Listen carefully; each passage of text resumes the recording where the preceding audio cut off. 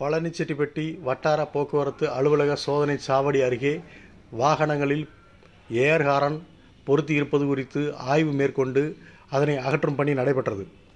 தேனி அருகே பழனிச்செட்டிப்பட்டியில் உள்ள வட்டார போக்குவரத்து அலுவலக சோதனை சாவடி அருகே வாகனங்களில் ஏர் ஹாரன் பொருத்தி இருப்பது குறித்து ஆய்வு செய்து அதனை அகற்றும் பணி நடைபெற்றது.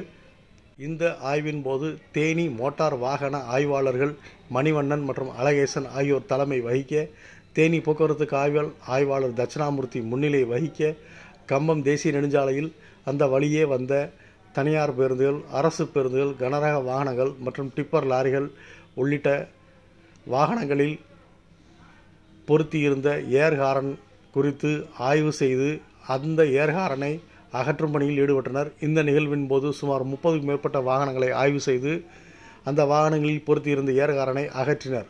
நிகழ்ச்சியில் மோட்டார் போக்குவரத்து வாகன அலுவலர்கள் மற்றும் தேனி போக்குவரத்து காவல் நிலைய சார்பு ஆய்வாளர்கள் போக்குவரத்து போலீசார் பழனிச்செட்டிப்பட்டி காவல் ஆய்வாளர் ராஜேஷ் மற்றும் போலீசார் உள்ளிட்டோர் உடன் இருந்தனர்